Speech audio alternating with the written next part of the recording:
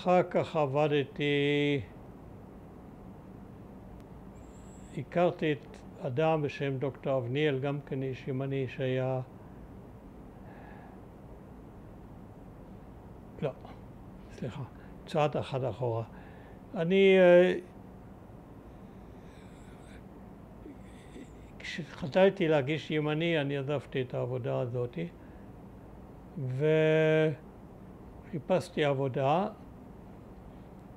קרוב לארץ ישראל העובדת ואז הציעו לי עבודה, הוקם מוסד שנקרא, היום זה נקרא מוסד לגהות, אבל אז זה נקרא להיגיינה מקצועית, מוסד שמפקח על בתי חרושת ומקומות העבודה מבחינת ההיגיינה של העובדים, תנאי העבודה וכן הלאה, הפיזיים.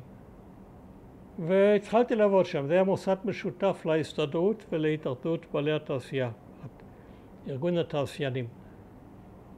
וכזה מלוכה כפולה.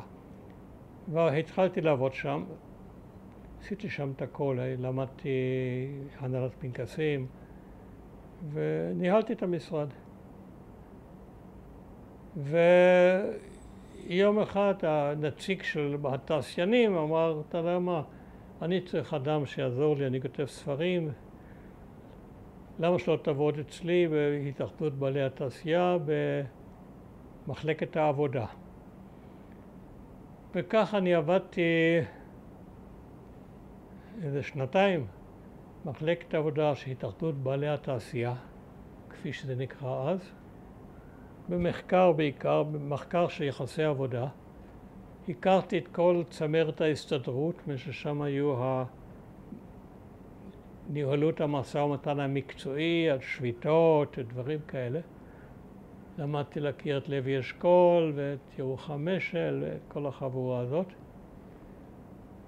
הייתי בהרבה ישיבות על תנאי עבודה, יחסי עבודה. אני זוכר שהייתי ברחוב בהפסקה כששמעתי שנגמרה מלחמת העולם השנייה. הייתי בחוף בנימ... נחלת בנימין, פינת מונטיפיורה.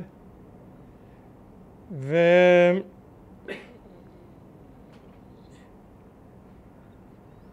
אז קצת נמאס לי לעבוד עם התעשיינים ועברתי לעיתונות נטו. הוציאו, היה עיתון מקצועי של